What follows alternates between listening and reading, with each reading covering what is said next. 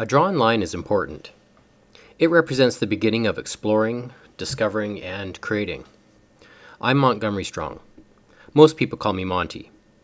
I'm a visual artist, and more specifically, I love to paint. My passion for painting is a result of a few factors which I will outline for you in a quick and simple way.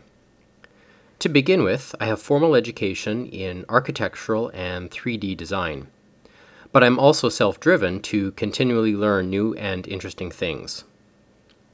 That knowledge and learning has led me to professional work experience within the field of design.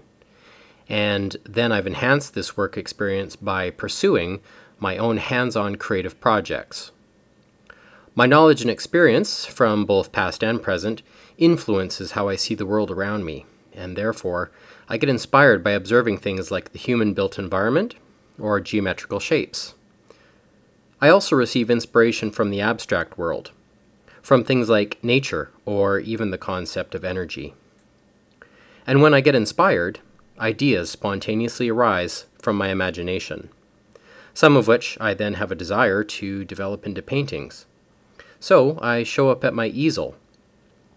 A blank canvas is like an eager invitation for me to express and realize those ideas.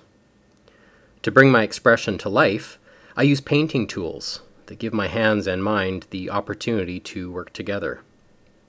For the paint medium itself, I love using a professional artist quality acrylic made right here in Canada. Masking tape is something I find totally fun and exciting to use as a tool. And even a regular hardware store paintbrush is one of my favorites. Using the simplest things is a rewarding creative experience.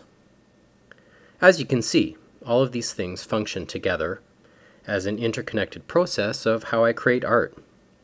And that process serves as a means of sharing my ideas and perspectives with other people. To see examples of paintings I've completed, click on Paintings, located in my website's main menu.